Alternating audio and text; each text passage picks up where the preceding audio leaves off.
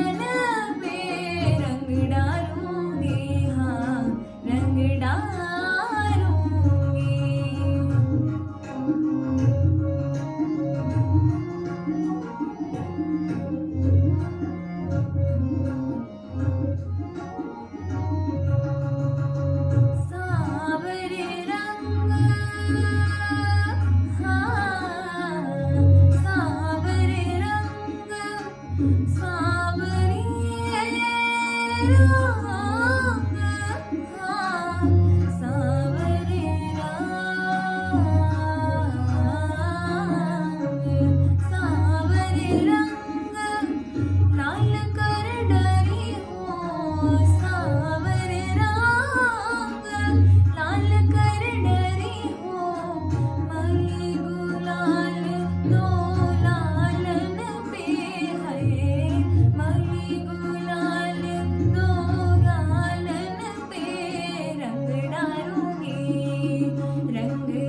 oh